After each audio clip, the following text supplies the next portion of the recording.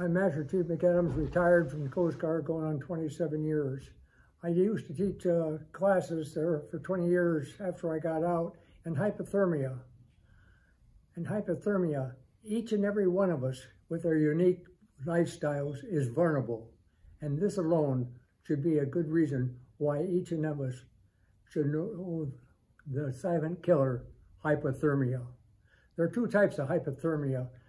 They're on what we call on land, which is slow, called chronic. And it attacks the body slowly because temperatures are very mild. And if you're out walking and you know, temperatures are down uh, in the 40s or even a little bit lower than that, you don't realize that you're getting cold until it's too late.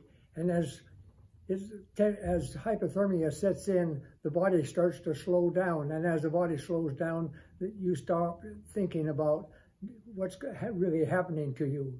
The other is acute, and that is immersion in a total liquid, usually always water. And once you go into the water, hypothermia in cold water can set in within just 10 or 15 minutes. Cold water is anything that is below 70 degrees. Below 70 degrees. Our water temperature out here off of Newport runs on an average of around 50, 52 degrees most of the year round. Varying sometimes in the summer a little bit warm. I can remember one summer that the water actually came into the bay here and out to the Whistle Buoy. Well, it was 60 degrees. It moved in from the Japanese current. And we, we thought we were in uh, the tropics. Uh, there was 60 degree water. It was really warm, up to 8, 10 degrees from what we were used to. And uh, we actually went out swimming in it. We, we thought it was great. I really think that you can build up an immunity to cold water and cold weather by living in it and using it all the time. But the average person getting hypothermia, have you ever had hypothermia?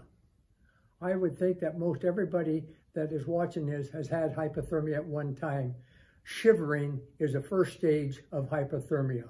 If you start to shiver and you're getting cold and then you can't really stop that shivering, that's the first stage of hypothermia. And you got to do something about it. And I always say, put a hat on. Uh, and I say wool hat. That is one of the best. There's Gore-Tex, there's polypropylene and merino wool, and there's new materials that are out over the years that uh, are made to fight off cold. But wool, most uh, materials, and I say wool because that retains the most body heat when it's wet.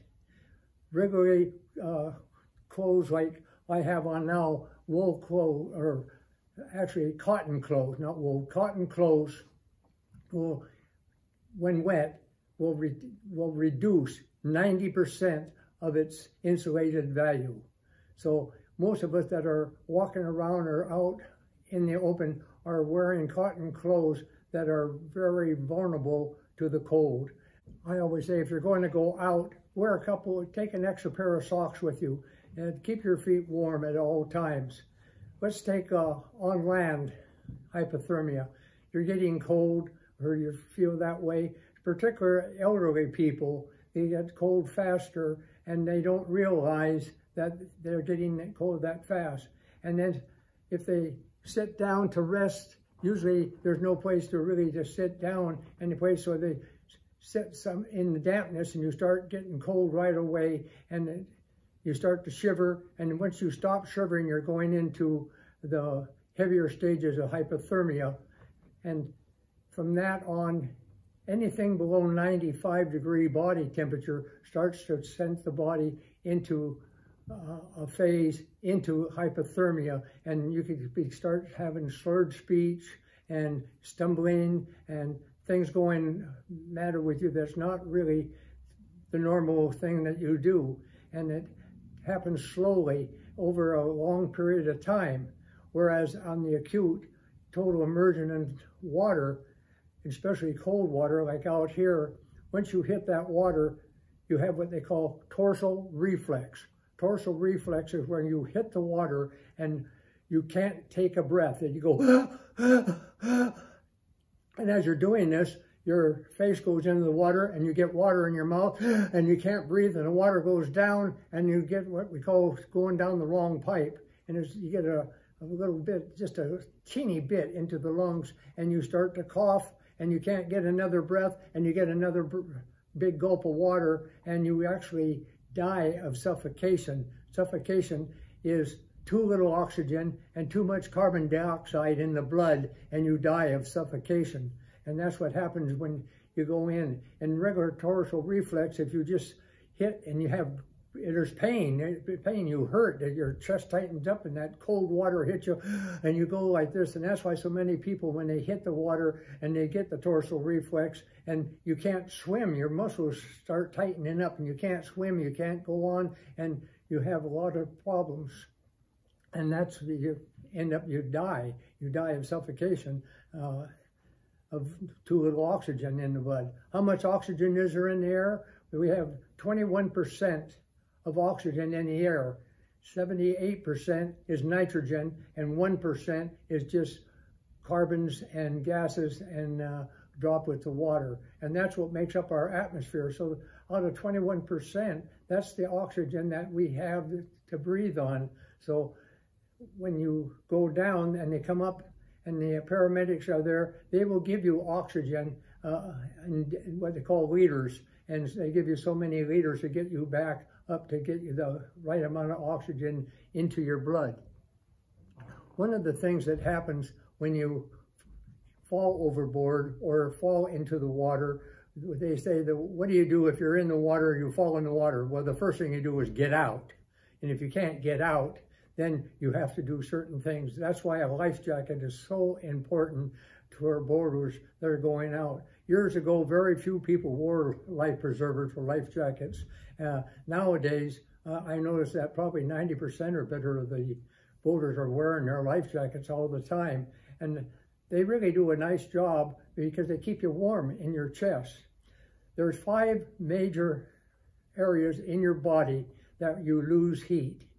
There's radiation. Your body is like a giant radiator and you radiate heat out from the body. Then there's respiration. You're breathing. You breathe in cold air and you breathe out warm.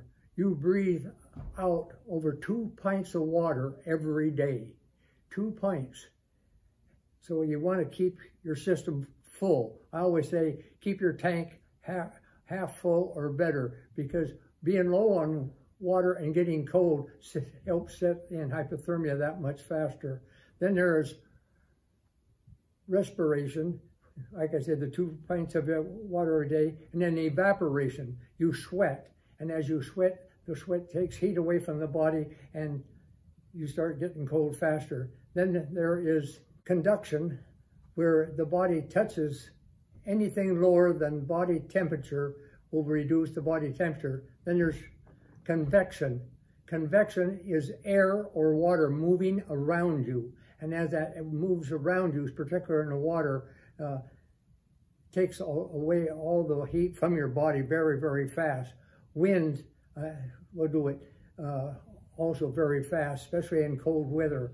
If you're in water and the water's swirling around, it will take away 90% of the heat from your, your body compared to temperature of the same outside. So it's very important to wear proper clothes. Wearing different layers of clothes is very important. If you had like a t-shirt and then you had another shirt over and then maybe a jacket or something over and then maybe a heavy coat. You now have layers of clothing on you and it traps air in between those layers and it takes a long time uh, for the water to seep through and, and finally take all the warmth away from you, uh, from your body. So it's very important that you wear clothes uh, in layers if you can possibly do it.